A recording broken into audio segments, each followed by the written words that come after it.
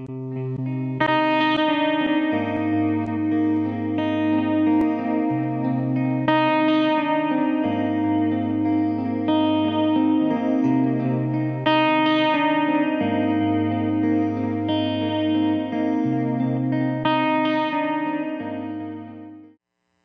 mi tema en esta tarde ya se llama Rompiendo los Límites.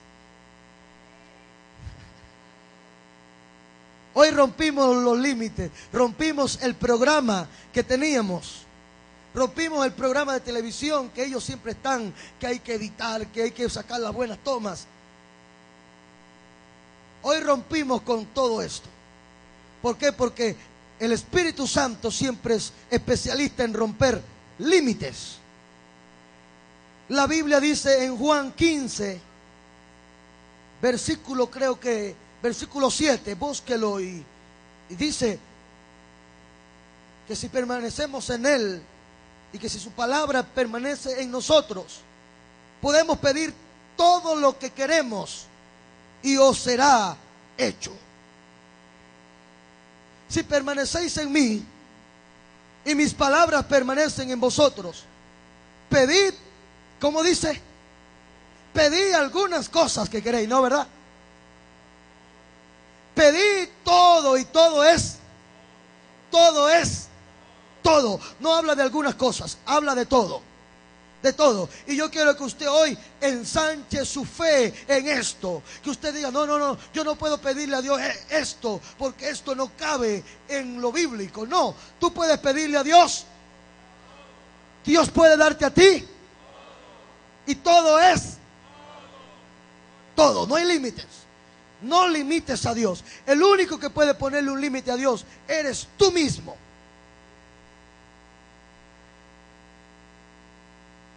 Aleluya. Diga, no hay límites. Y si hay, hay que romperlos. No hay nada más peligroso para Satanás que un creyente que quiera ir más allá de lo que se requiere. O sea, cuando hay- hay un creyente soñador, visionario, cuando una iglesia que está soñando, que está hablando de, de, de leudar a todo un estado, de afectar muchos barrios, de ir a las comunidades, de entrar a los hogares, entonces eso representa un peligro terrible para Satanás. Usted tiene un pastor soñador que le gusta, no le gusta dormir, ¿ok? Nadie salga diciendo al pastor que la pasa puro durmiendo. No, no, no, no. Soñador no quiere decir que anda durmiendo. Soñador es alguien que siempre anda con una visión fresca y está diciendo, vamos a hacer esto, vamos a lograr esto, vamos a proyectarnos en esto y vamos a establecer esto y vamos a conquistar esto. ¿Alguien quiere aquí convertirse en un soñador? Los que le gusta dormir. Escúcheme, no hablo de eso. Usted puede pasarse toda una vida durmiendo hasta las 11 de la mañana y nunca tener una visión de nada. Entonces usted se para de- a las 11, mamá, ¿qué hay de comida? Diga, yo soy un soñador. Yo soy un visionario. Escúcheme, usted tiene que acostumbrarse a soñar en Dios. Y si va a soñar, es mejor que sueñe en grande. O sea, si usted va a soñar por una patineta, yo le aconsejo que no sueñe con una patineta, o sueñe con un carro.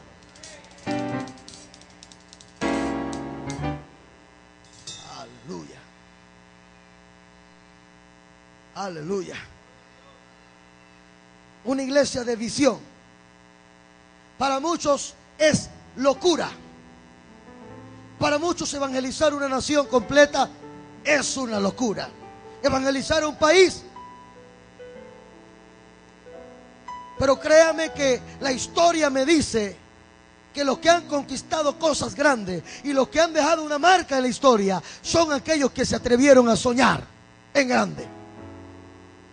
Ejemplo de ello tenemos a uno llamado Simón Bolívar. ¿Lo conoce?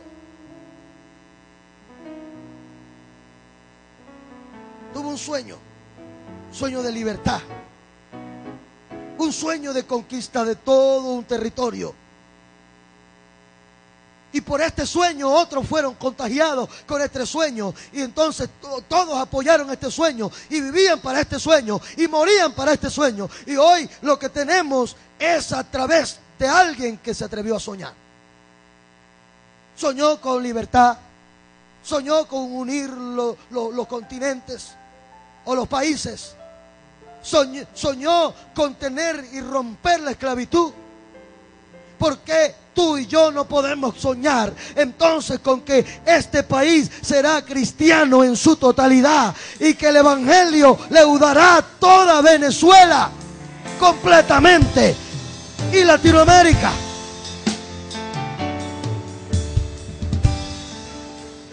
Mire, ¿quiere que le diga algo más? Simón Bolívar era venezolano. Eso quiere decir que tú tienes algo en tu sangre que se llama libertad que se llama, se llama una revolución espiritual, que se llama que no me voy a quedar tranquilo hasta que consiga lo que estoy soñando, estoy deseando, y vamos a hacerlo, y vamos a conseguirlo. Tal vez por eso es que Dios miró a Venezuela y dijo, estos venezolanos tienen muchos defectos, es verdad, estos venezolanos pero en, la vena de ellos corre sangre libertadora. Aleluya. Aleluya. Y es aquí donde usted tiene que despertar y decir, yo voy a romper los límites que el diablo me ha puesto, que la cultura me ha puesto, que la circunstancia me ha puesto, que, que cualquier cosa me ha puesto. Yo hoy decido romper mis límites. Romper los límites implica romper las posibilidades que tú piensas que tienes. O sea, el hecho que tú digas, yo nunca voy a salir adelante, porque yo siempre fui pobre, nací pobre, viví pobre y moriré pobre toda la vida, porque yo estoy destinado a ser un pobre. No, y mil veces no. Tú puedes, tú puedes cambiar esa, esa, esa realidad. Esa herencia, porque en, un punto son herencias que, que las circunstancias te han dejado y te dicen, tu abuelo fue igual que, tu papá. Tu papá es igual que tú y tú serás, y, y tus hijos serán igual que tú. Yo me niego a que usted quiera agarrar esa herencia. Porque mi Biblia dice que cuando, cuando alguien llega a Cristo es una nueva criatura y las cosas viejas pasaron y todas entonces son hechas nuevas. Aleluya. Hay una herencia vieja que tú tienes que, tienes que, tienes que renunciar a ello. Tienes que despojarte de esa vana manera de vivir.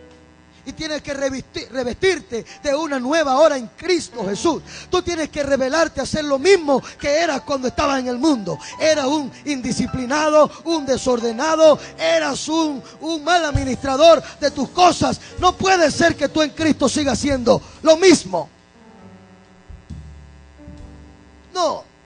Dígale a su hermano, lo mismo es una enfermedad del lomo, tú no eres eso. Tú no eres eso. O sea, se supone que si alguien está en Cristo, tiene que adoptar una cultura nueva, una vida nueva, una un futuro nuevo también. Pero tú tienes que hoy romper esos límites romper esos límites. Aleluya. Me asusto más cuando alguien en el mundo era mejorcito y ahora en Cristo se puso peor. Yo digo, Señor. Ya se supone que la vida en Cristo es mejor y superior que la vida sin Cristo. ¿Sí o no? ¿Sí o no? Dígale a su hermano, hermano, rompe los límites.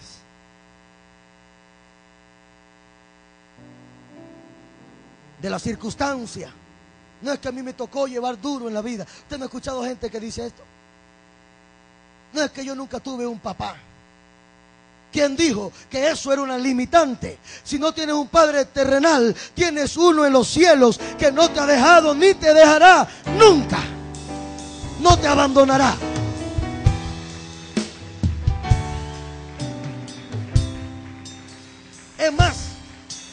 Llamarte a muchos que no tuvieron un papá y salieron adelante.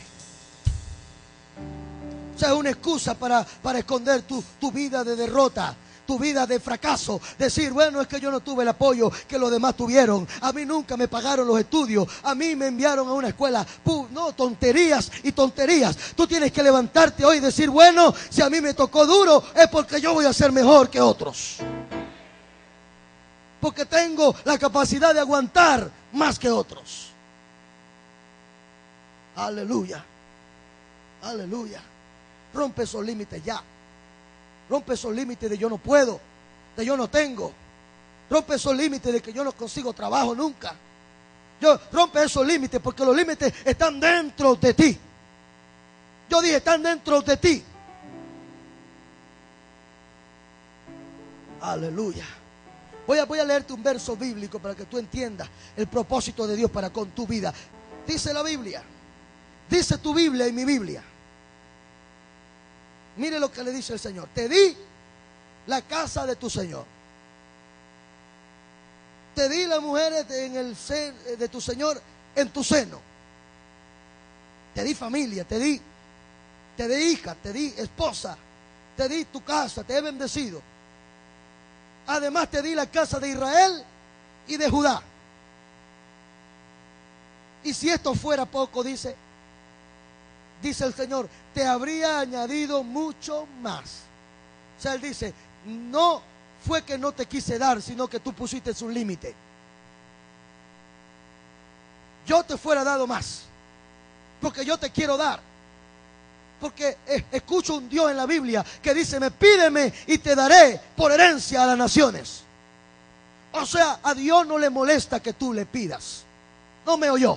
No me oyó. Y no se me ponga religioso. Porque hay algunos, no, no, no, yo no le puedo, no le puedo pedir tanta bendición a Dios porque Él tiene que repartir la bendición en todo el mundo. Y la gente de África seguro necesita más que yo. Yo estoy medio bien. Y entonces, no, tontería. Él dice, me pídeme por esa boquita y yo te doy.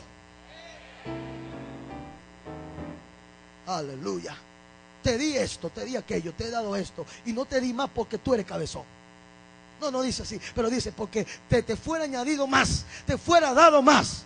Pero el problema no es que yo no te quiera dar, yo te quiero dar. El problema es que tú no quieres romper el límite para recibir. Qué tontería, qué tontería que tú, que tú venga, venga donde Dios con una, con una jarrita chiquitica. Señor, lléname la copita. Lléname el vasito, Señor. Lléname el vasito. Cuando tú puedes buscar una palangana o, una pipa.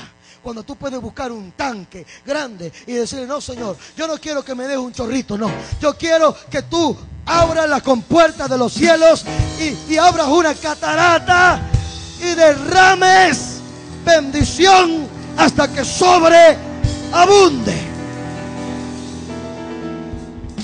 Vamos, rompa los límites ya. Rómpalo ya. De aquí, Señor. ¿Por qué vivir limitado con un Dios ilimitado? ¿Por qué vivir en estrechez y en escasez cuando tienes un Dios de abundancia que te quiere dar, que te quiere bendecir? Aleluya. Aleluya. Santo Dios, santo Dios, amados, rompa los límites. No quiero que usted se muera más pobre que como nació. Santo Dios, eso es triste que a la gente lo entierran.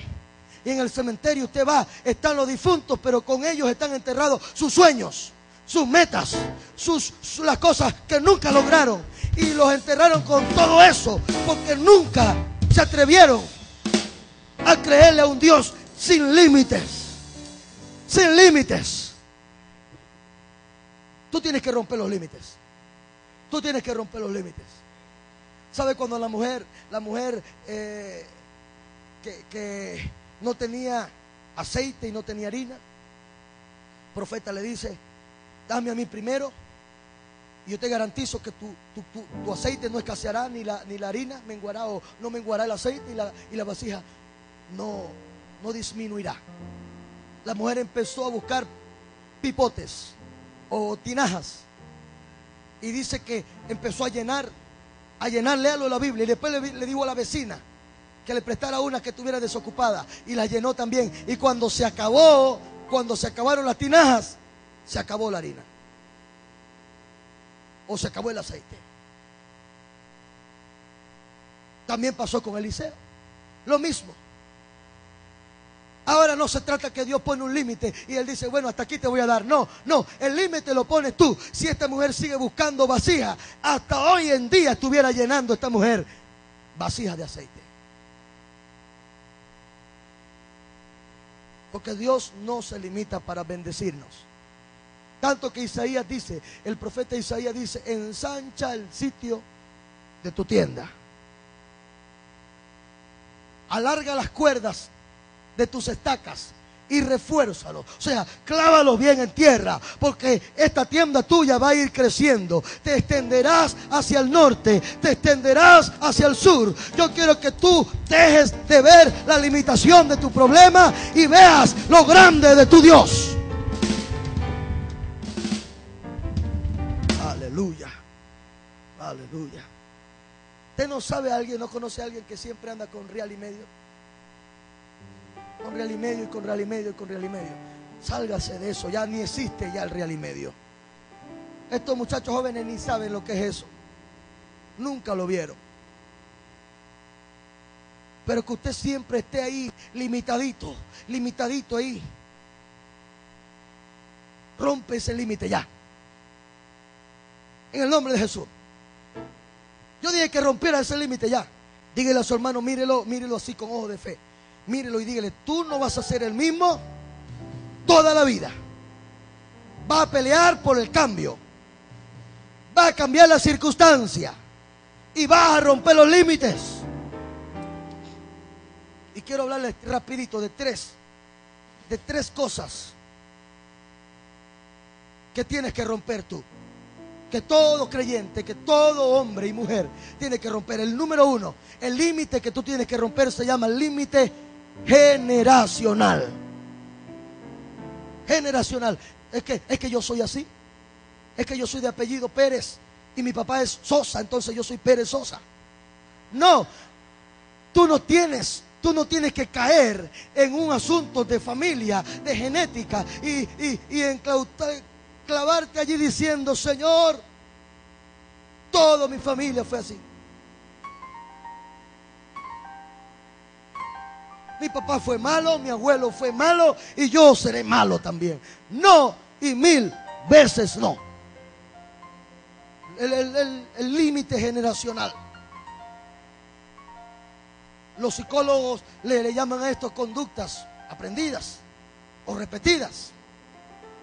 Que la gente terminará muchas veces repitiendo lo que vio en su mamá. Terminará siendo igual que la mamá. Así que si tú te vas a casar con alguien, muchacho con soltero, mira cómo es esa mira cómo es la mamá.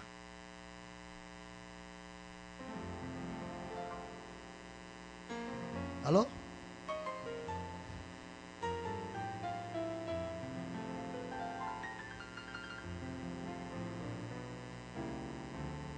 Mire cómo se puso esto alborotado.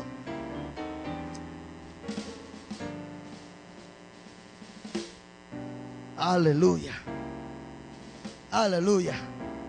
Aleluya.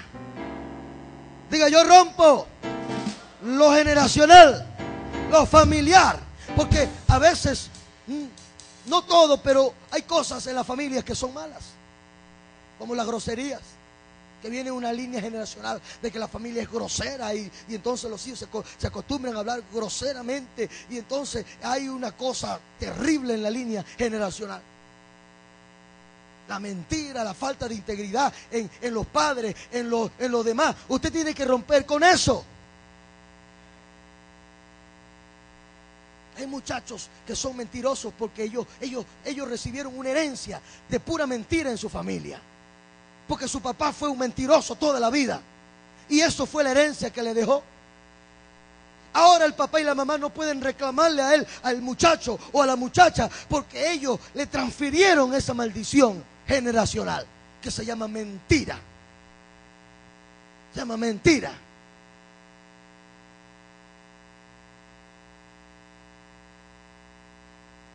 Por eso es que hay que romper ese límite en el, en el nombre de Jesús. En el nombre de Jesús. Y yo creo que en, en, Cristo son nuevas las cosas. Lo viejo está a un lado, lo viejo pasa. Y esto es aplicable en todo. Si tu familia viene en una línea de diabéticos, tú llegaste a Cristo, tú puedes romper la maldición de la diabetes.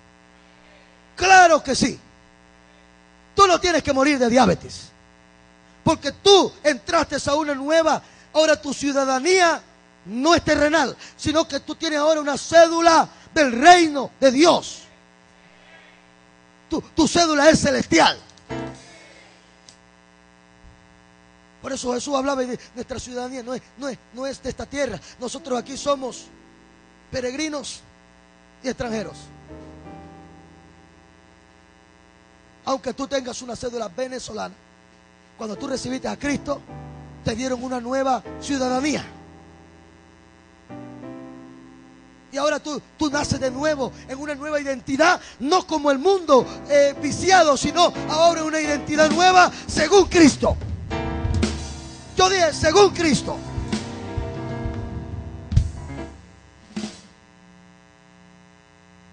Aleluya. Yo hoy quiero que usted rompa, rompa límites. Rompa esos límites. En que si usted vivió una vida desordenada, los hijos suyos no tienen que pasar por lo mismo. Si usted cometió algunos errores en el pasado y, y llevó la vida toda desordenada, ahora en Cristo usted puede traer el orden a sus hijos y a sus nietos.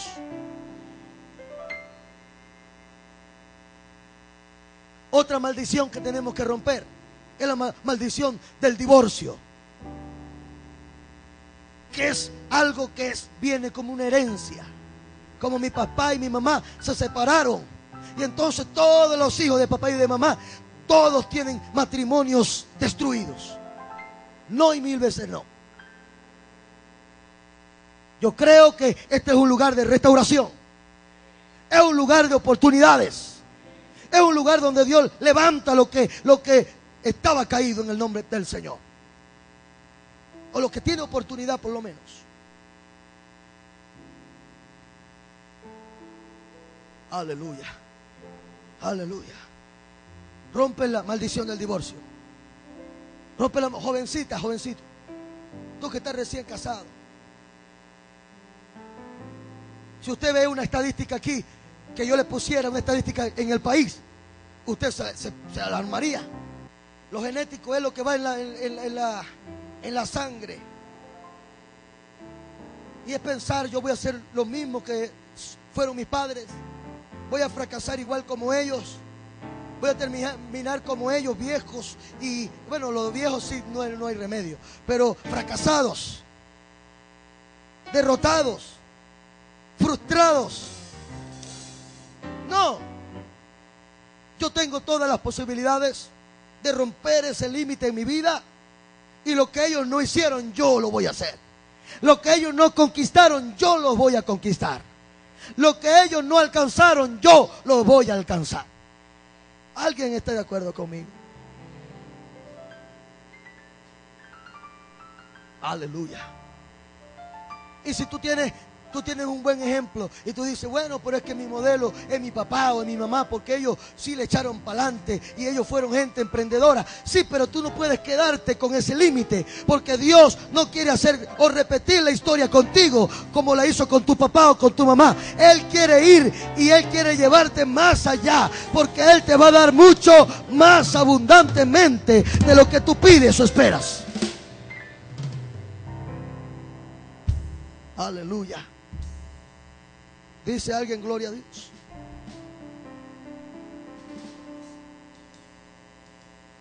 Aleluya. Hay muchos que dicen, bueno, esto es lo que somos y esto es, esto es lo que y seguiremos así. Póngame en la pantalla primera de Pedro, por favor. Primera de Pedro 1.18, rápidamente vamos a leerlo. Habla de costumbres, cultura prácticas. Léalo conmigo.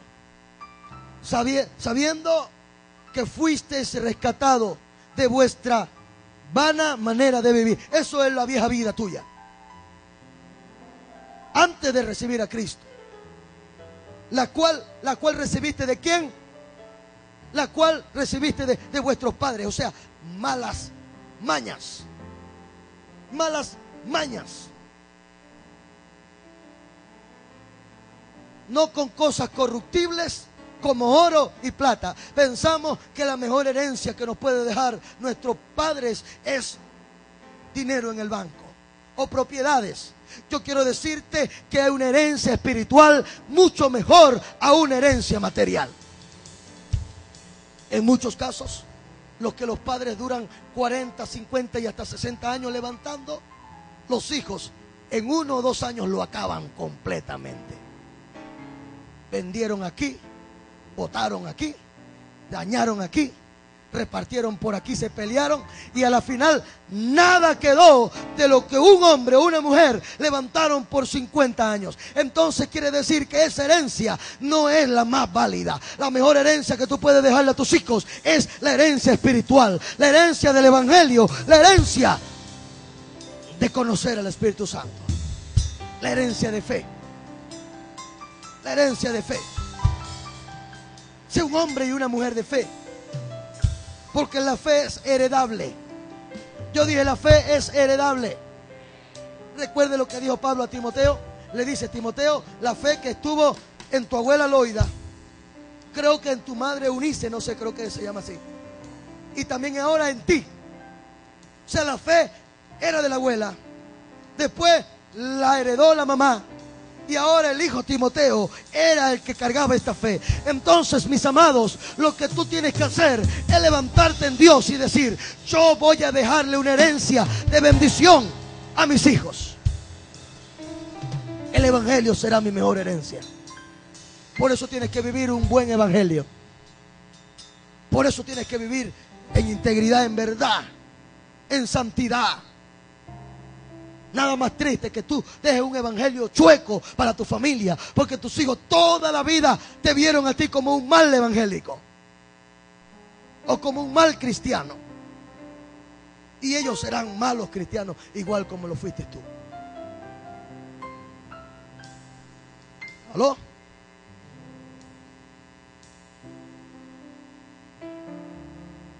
Póngame el próximo verso 19, a ver qué dice. 1.19, sino con la sangre preciosa de Cristo, que es la que nos limpia, como de un cordero sin mancha y sin contaminación. La sangre de Cristo es lo que te hace acepto, lo que te hace libre de esa maldición generacional. Escúcheme, usted tiene que empezar a ser libre de culturas, de prácticas familiares, de falta de, integridad, de estas cosas que a veces se hacen, se hacen sin saber. Usted no sabe cuál es el trasfondo de esto. Pero usted tiene que rebelarse contra cosas. Porque ya, ya ahora usted está en Cristo Jesús. En Cristo Jesús. Sea, si, usted en su familia toda la vida se sentaban en una mesa a hablar mal de todo el mundo, hablar mal de los demás, escúcheme, hablar mal de los pastores, de los líderes, que es la maldición terrible que muchas familias ahora están arrastrando y nunca pueden, nunca pueden, quedan errantes como Caín. Usted ve esa gente que nunca tienen una morada fija, que siempre están en una iglesia y vienen, vienen rebotan en una, después rebotan en otra después abren otra nueva y ahí están ellos, después se van a otra y, nunca parece que tienen un, sitio fijo, tienen esta maldición por haberse levantado en contra de los, de los ungidos de Dios. Por lo menos usted tiene que levantarse de esa mesa y decirle a su familia con amor, decirle un momento, yo no quiero participar en esto. Yo no quiero participar en esto. Yo me levanto de aquí. Y yo no estoy de acuerdo con que ustedes vengan a hablar mal de nadie en una mesa cuando tenemos que hablar en esta casa y tener bendición a la familia. Y usted se revela contra eso. Si ustedes quieren hablar mal del pastor, hablen mal. Si ustedes quieren hablar mal del líder, hablen mal. Pero a mí no me metan en eso. Porque eso es acarrear maldición, no para nosotros, sino para nuestros hijos y nuestros nietos. Si usted lee en la Biblia en Isaías, se da cuenta que los que se levantaron contra profetas, Dios en un punto dice, yo los heriré con locura. Son gente que a la final quedan, quedan terriblemente en el Evangelio rodando, errante. Sus hijos se levantan en un espíritu de rebelión también. Y dentro de la rebelión viene algo que se llama homosexualismo y lesbianismo. Por una maldición generacional. Diga hoy, yo rompo los límites. Yo rompo mi límite. Y voy a conquistar la bendición de mi familia. Del futuro de mi familia. De mis hijos. De los hijos de mis hijos. De mis nietos. Y de mi próxima generación. Aleluya. Ustedes no han escuchado gente que dice, no, es que yo no puedo, yo no puedo ser cristiano porque, porque mi, mi familia toda ha sido católica, apostólica y, romana, dicen así, pero ni saben que es romano. Pero entonces ellos tienen una línea y respetando esa línea de costumbres, de cultura, prefieren cerrarse, cerrarse a lo nuevo de Dios, antes que, que renunciar a una cultura muerta y seca que no les ha dejado nada bueno.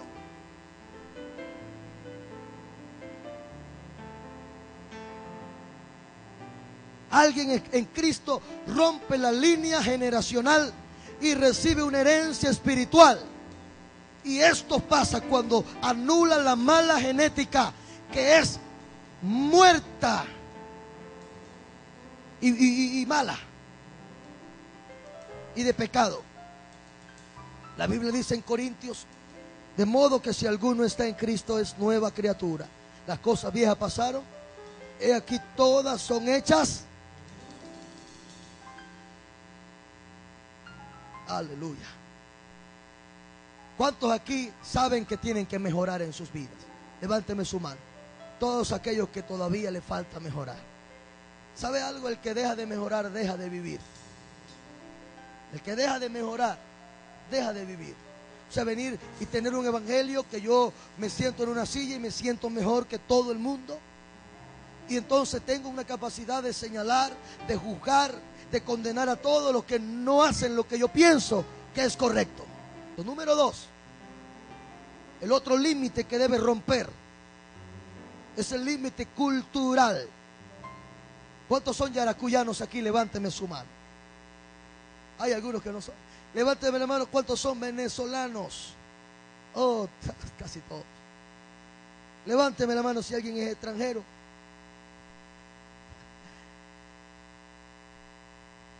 Ahí está uno. Pero es más, ya, ya más venezolano que. Aleluya. Ya come arepa. Aleluya. Escúcheme algo. El límite cultural a veces nos, nos ancla y a decir, bueno, es que así somos los venezolanos. Impuntuales. Le decimos a la gente, tenemos una reunión, espéreme a las 8, que si a las 9 no vengo, a las 10 estoy allá. Segurito. No hay pele. Y hay cosas de nuestra cultura que nos están haciendo un daño. Porque una cosa es el reino de Dios. Y, y, con el reino de Dios trae una nueva identidad, un nuevo estilo de vida. O sea, Dios, Dios no va a hacer una revolución espiritual con una iglesia venezolana. Aunque con venezolanos no va a ser una iglesia venezolana. Va a ser una iglesia del reino de Dios, que su ciudadanía es del cielo y que ellos se comportan diferente a como muchos se comportan. Aleluya. Y no importa lo que usted ame en su país. No importa lo que usted diga, yo me siento orgulloso de ser venezolano. Pero antes de, venezolano, usted es cristiano. Usted es cristiano, que ser cristiano debe estar primero que cualquier o se le llama idiosincrasia. Idiosincrasia. O, su nacionalidad. Es cristiano. Primero que todo, usted es cristiano. Porque a, los que le recibieron le dio potestad de ser hechos, de ser hechos hijo de Dios. Tú no eres hijo de María solamente o, o, hijo de Juana. No, no, no, no. Tú eres hijo de Dios. Y con esa identidad tú debes comportarte y vivir con una identidad de hijo de Dios. No es tu apellido, no es tu linaje, sino que es la gracia de Dios sobre ti. Tú fuiste adoptado por Dios y Él te puso su apellido. Te limpió con su sangre y te hizo una nueva criatura. ¿Sabe lo que significa la, palabra, la palabra iglesia? Que se, escribe en el, en el término original eclesia. Significa, escúcheme porque yo le voy a predicar, le voy a predicar los próximos días de esto. Pero la palabra iglesia significa un pueblo separado o un pueblo apartado de otros pueblos. Un pueblo diferente un pueblo diferente. Entonces, si tú eres la iglesia de Cristo, si tú eres el cuerpo de Cristo, si tú eres el templo del Espíritu Santo, tú tienes que vivir de manera diferente a otros. Aleluya. ¿Cuántos son eclesias aquí? La iglesia no es el templo, el local. No el, no el, no, la iglesia eres tú. Tú eres alguien que ha sido apartado de de otros pueblos. Apartado para qué? Para vivir diferente. Para que no tenga la cultura, la costumbre de los otros. Para que no vivan ni piensen como los otros. Aquí está el fracaso, que cada vez los cristianos se parecen más a los mundanos. Y cada vez que el cristiano quiere vivir como mundano y quiere venir a una iglesia, sentarse en una silla y ya cumplió. Pero no se da cuenta, no se da cuenta que tú tienes que romper con un límite. Donde tus vecinos noten el cambio y la diferencia entre ellos y tú.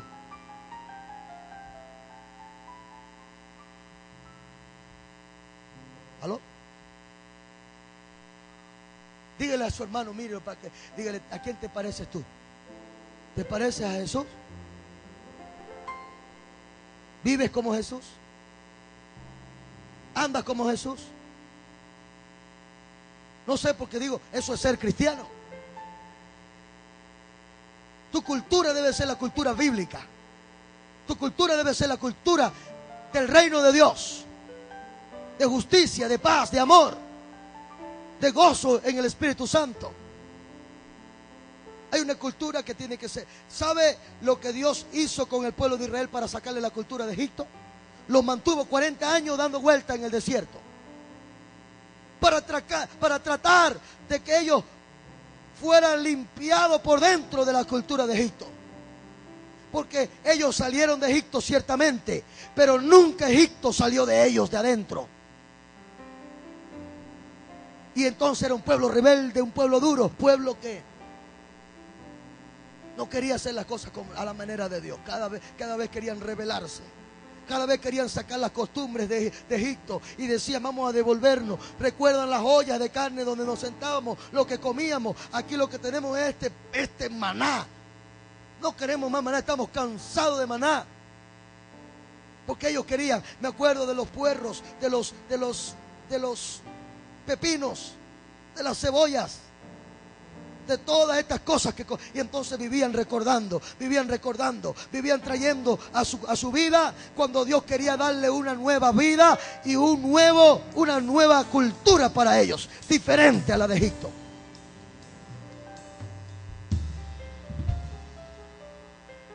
¿Sabe algo? Usted está lleno, estamos muy llenos de Egipto, del mundo. El mundo representa Egipto. Y necesitamos desintoxicarnos. Que salga al mundo de nosotros. Que salga el olor, el, a mundo. Que usted no pueda, no, no, no huela a mundo, sino que usted huela al reino de Dios. Amados, escúcheme y míreme bien. Si usted está en esta iglesia yo como pastor, yo quiero formarlos a ustedes bien.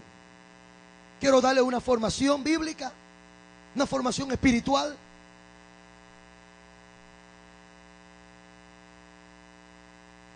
Créanme a mí, a mí muchas veces me llegan el reporte de muchos de ustedes. Buenos y malos también. Hace unos días me encontré con alguien en un ambulatorio. Me, habló de alguien de la iglesia. Me dijo, oye, ese muchacho lo que hace es hablar de Jesús, del Señor, nos habla todo. Nos muestra a Dios de una manera que yo, yo cuando lo vi usted no lo conozco, nunca lo he visto, pero cuando yo lo vi, yo supe que era de usted quien él me hablaba. Se me acercó y me dijo, ese muchacho realmente es un cristiano. Yo saqué pecho y dije, sí, esa es mi oveja.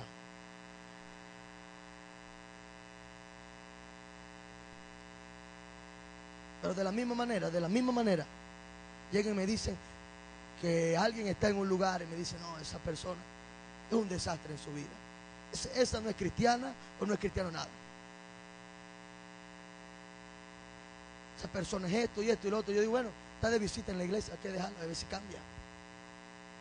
Ella no es muy constante o él no es muy constante, está de visita. Aleluya. Hay que cambiar la cultura, ¿verdad que sí? cultura yaracuyana. Yo quiero luchar con esta cultura yaracuyana que es muy pasiva, muy quietecita, muy, muy, muy de, provincia, que somos de provincia, como alguien nos dijo. Provincia y quietecito. Yo creo que el Evangelio tiene que traer una revolución en los yaracuyanos. Que salgan, que prediquen, que hablen, que se metan en los lugares que nadie se mete, que sean, que sean dinamita.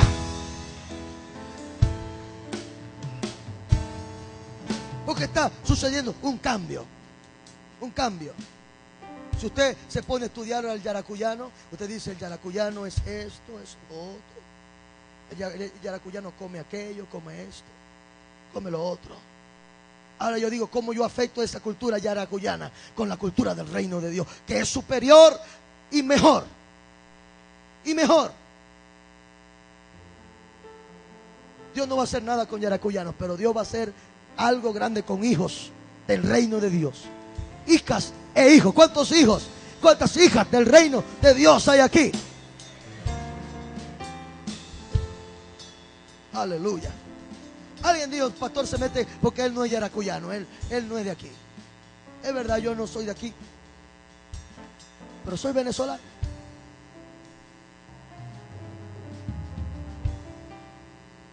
Aleluya. Aleluya. Y allá tal vez es peor porque en donde, donde yo vengo, que es Turén,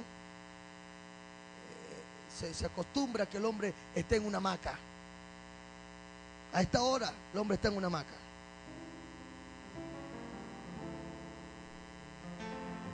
Sucede que hay una, una, mata de mango y la gente come mango. Las iguanas vienen y van a comer mango. Los perros comen mango. Los perros destapan los mangos y dejan la pepa bien chupadita del mango. Son expertos comiendo mango.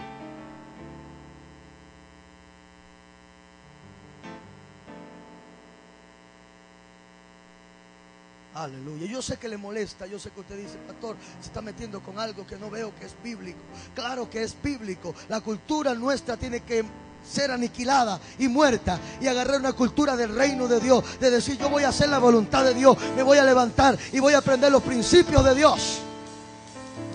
¿Usted cree que mi Señor Jesús no luchó con la cultura de Pedro, de Juan, de Jacobo?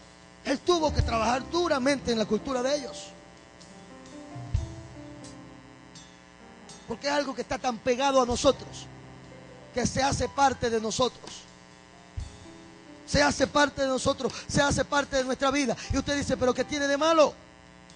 Eso no afecta para nada, pero hay cosas que están deteniendo lo que Dios puede hacer en tu vida. Levántate y resplandece porque dice el Señor, ha llegado tu luz. Eso quiere decir que hay un cambio en cada uno de nuestras vidas. Aleluya. Diga conmigo, yo voy a cambiar impuntualidad, irresponsabilidad, la inconstancia, Hay gente que comienzan a hacer las cosas y no la terminan. Deja todo a la mitad. Empezaste a estudiar un curso, lo abandonaste. Empezaste una carrera, la abandonaste. Todo a la mitad, todo a la mitad, todo es una, una inconstancia para todo. Comenzaste a leer la Biblia, la dejaste por la mitad. Comenzaste un plan de oración, de abandonaste tu plan de oración. Es más, la impuntualidad se ve hasta, hasta en lo que tú no te congregas. No puedes lograr congregarte. En la semana un martes, un jueves y un domingo. ¿Aló? ¿Están aquí? Fueron.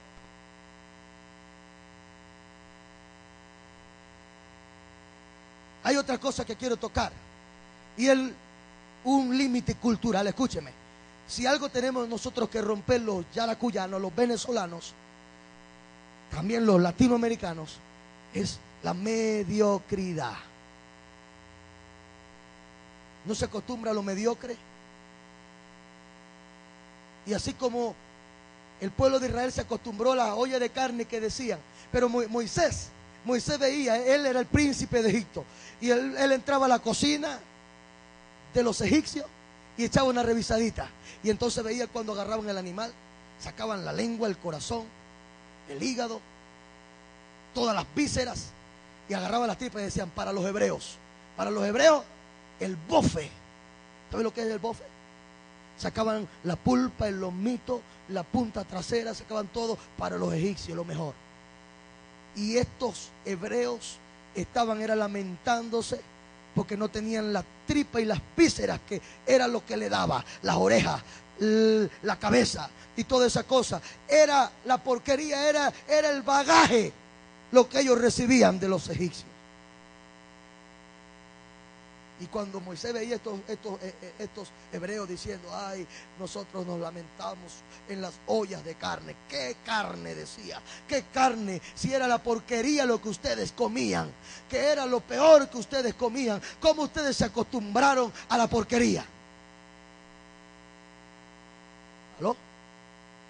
Una de las cosas por las cuales nosotros somos atacados es porque podemos trabajar con aire, con alfombra, con butacas porque ambientamos, para, para muchos esto es, como que ellos dicen, esto es vanidad. No, ese pastor que ustedes tienen es un vanidoso. Un vanidoso. No es vanidad. Es que decidí salir de una mediocridad. Es que eh, entendí que Dios no es un Dios mediocre. Dios es un Dios excelente.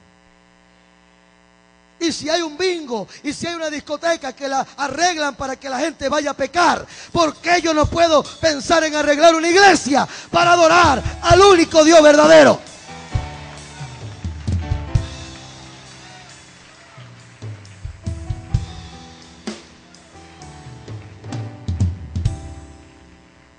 Aleluya. Y escúchenme, nosotros vamos rompiendo cosas, rompiendo límites en este estado. Hace muchos años atrás, yo no sé si alguno de ustedes se acuerda, pero en este mismo local, en el de atrás, allá, se quiso hacer un centro de perdición. Alguien vino e invirtió mucho dinero de Caracas, no voy a nombrarlo por respeto, pero este hombre vino y trajo mucho dinero y atrás pusieron unas jaulas, pusieron unos tubos o unas barras para que hubieran piscinas de barro y que la gente se pervirtiera en toda esta cosa, una cosa totalmente pervertida. Y yo le puedo llamar hasta, hasta sodomista. Porque ese era el plan. Y cuando ya estaba a punto de abrir eso, usted puede verlo, usted ve ese lugar y ve todavía la jaula, ve la piscina de barro, ve esas barras, todas esas cosas endemoniadas. Y Dios no permitió en ese tiempo que esto se levantara, porque Dios tenía un plan de que alguien iba a romper el límite y cuando se decía que no se podía, se pudo. Pero usted tiene que ir de aquí dispuesto a romper los límites. De que usted diga, bueno, ¿y cuándo yo voy a arreglar mi casita? ¿Y cuándo yo voy a creer por esto? ¿Y cuándo yo voy? No, yo le aconsejo algo, hágalo en el nombre del Señor. Y diga, no, voy a poner mis límites.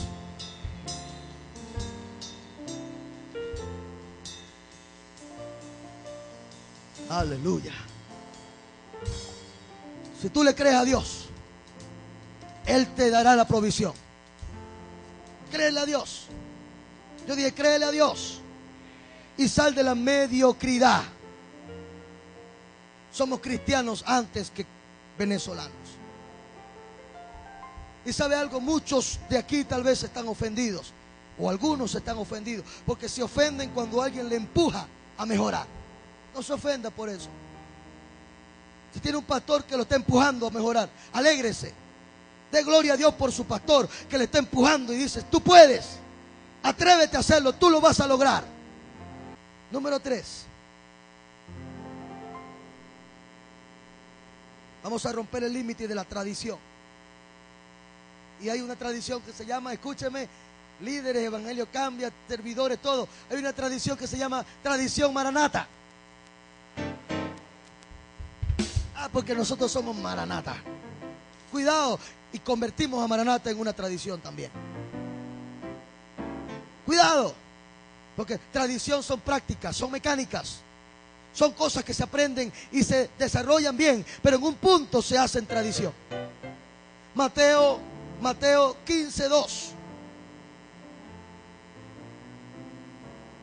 Le reclaman a Jesús y le dicen, Señor, ¿por qué tus discípulos quebrantan o rompen los límites?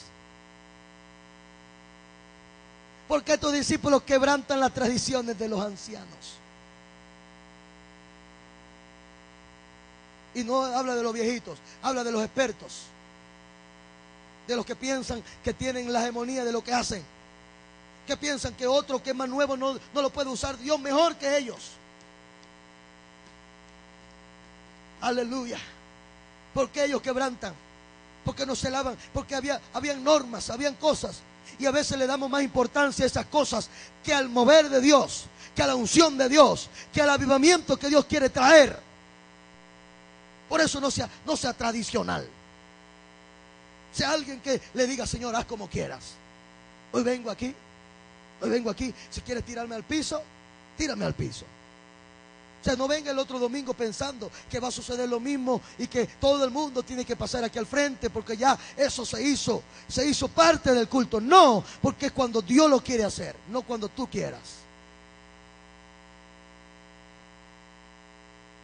Aleluya tradiciones. Hablo de que la iglesia está llena mucho de eso, de religión, de prácticas, de formas. Y a veces cosas viejas ya no funcionan ahora. Ya Dios se está moviendo de manera diferente. Gálatas 1.10, por favor.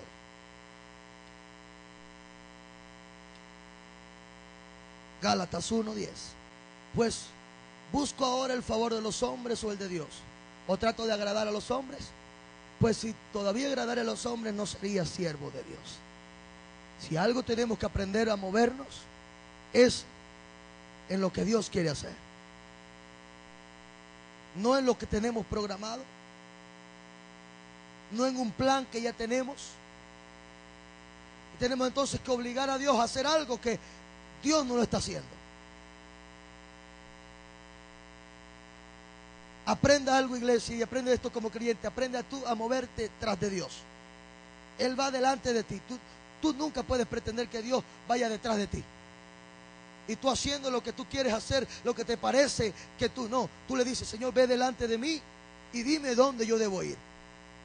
Tú vas caminando y avanzando, yo avanzo.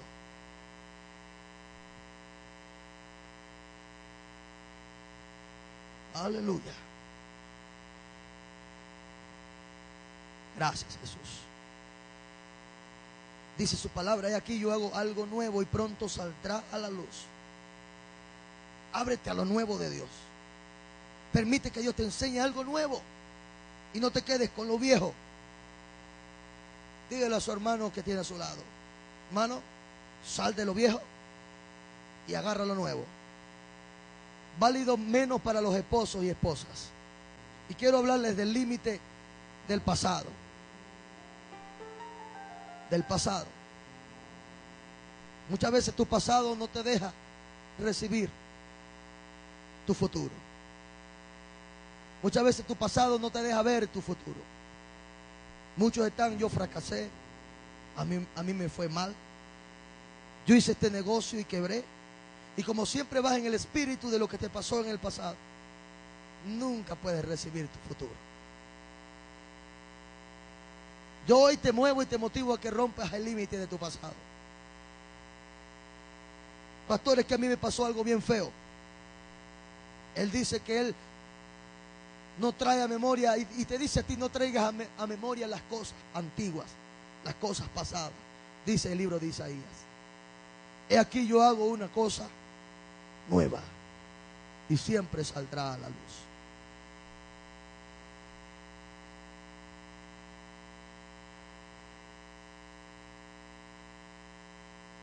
Aleluya. Y escúcheme, si usted no le fue bien en otra iglesia, en otra congregación, usted no tiene que repetir la misma historia en esta.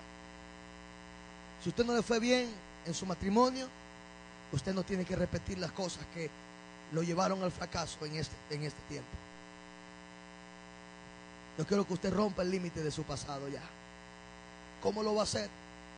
Despojándose de lo que quedó atrás y extendiéndose a lo que está adelante. O sea, olvídese de lo que quedó atrás. ¿Sabe cómo yo sé cuando alguien está limitado por su pasado? Por lo, lo que hace es hablar de lo que le pasó.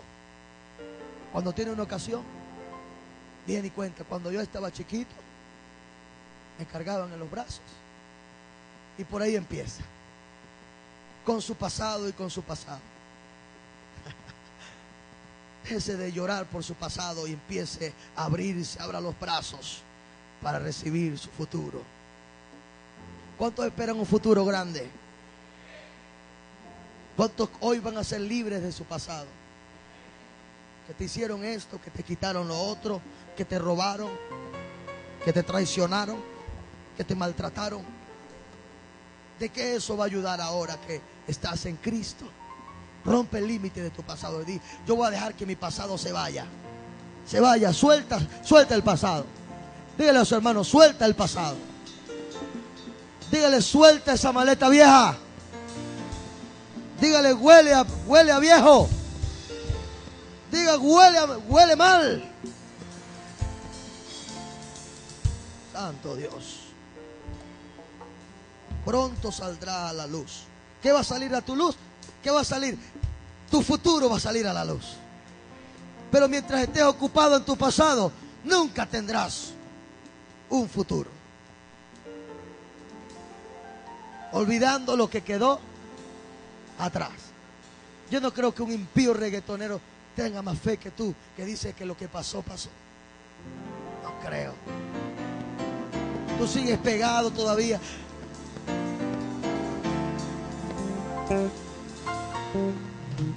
Levante sus manos. Eso es. diga, Señor, hay un futuro que me espera, que tú has preparado para mí. Yo no lo he visto, no lo he oído, ni siquiera ha subido mi corazón, pero es lo que tú has preparado para mí. Lo pasado es pasado, está muerto, Señor, y el pasado no dañará mi futuro. Renuncio al pasado, a ese dolor de lo que pasó. Y ahora me extiendo, doy un paso a mi futuro. Y mi presente ahora está enfocado en lo que tú harás. Señor, me abro para mi futuro. Lo recibo por fe. Lo agarro por fe. Amén. Amén. Y amén.